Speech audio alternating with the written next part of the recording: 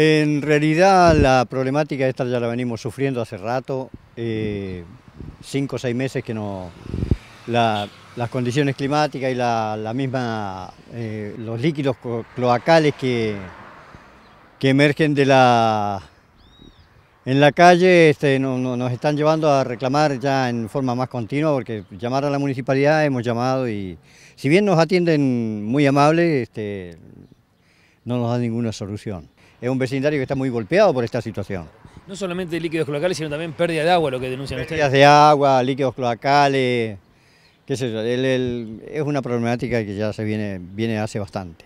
Y esto deja con inconvenientes el tránsito vehicular, las calles que se van deteriorando también.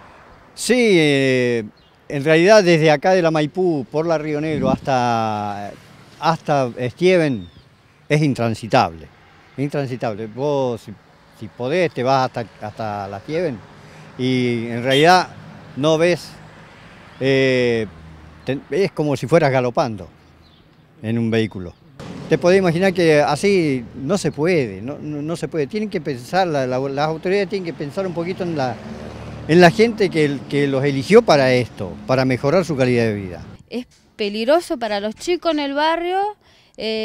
Bueno, la pérdida de cloaca hace una semana más o menos que la arreglamos pero el olor en el agua podrida está por el tema de las pérdidas de, agua.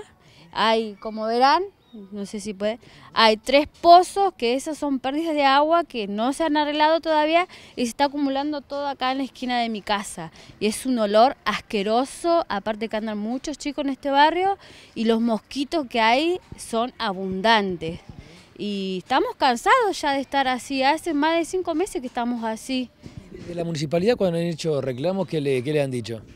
Lo mismo, eh, antes de que lloviera pasó la máquina, hizo chanchada y se fue, se vino la lluvia torrencial, peor porque se juntó mucho más agua y el olor es más asqueroso todavía porque levantó barro podrido, levantó y lo dejó así nomás.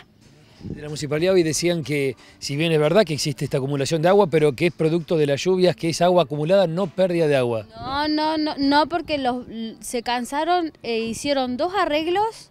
En el primer pozo los hicieron así nomás, eso siguió perdiendo agua y no lo arreglaron más.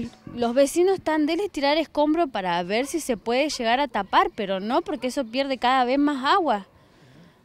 Eh, hoy nos contaban que vinieron máquinas de la municipalidad. Bueno, ¿qué trabajo? ¿Hicieron algún trabajo? No, no, vino acá, no vino ninguna máquina. En ningún momento apareció ninguna máquina acá.